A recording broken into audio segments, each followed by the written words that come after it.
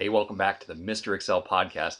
I'm Bill Jelen. We have a really strange problem here today. I have um, some style numbers, 6000, 6000B, and when I sort this column, I don't get the result that I expect. The style 5500 is at the top, but 5500A is near the bottom.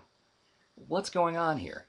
Well, it turns out that when Excel sorts data and some of the numbers are text, 5500A, and some of the numbers are numeric, all the numeric values come to the top and the text numbers um, come to the bottom. And so, you know, I always say that you should have your numbers stored as numbers instead of text.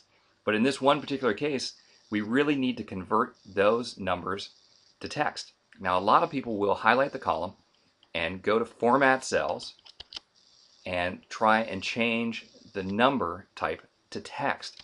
Well, that would have been great if you thought about it before you entered the data. But once the data has been entered, changing this number format to text doesn't affect the numbers that are already there. Um, so there's a couple of options. The one that I'm going to use today is the text to columns feature. This is found underneath data, text to columns.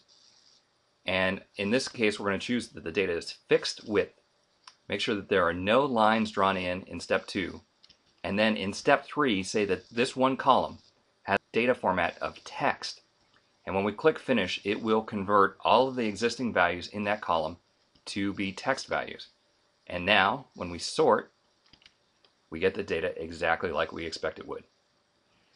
If you ever have the alternate problem where you have a lot of numbers stored as text, you can also use data text to columns, but in step three, say that the values are general, which will convert those back to numbers for you.